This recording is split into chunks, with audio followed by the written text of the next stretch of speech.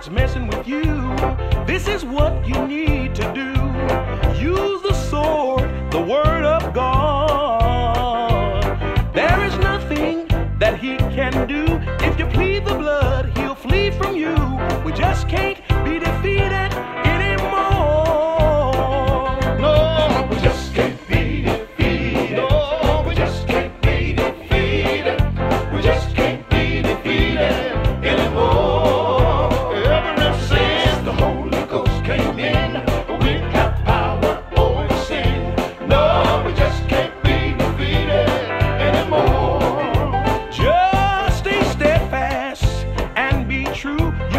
to be unshakable too. keep on the whole.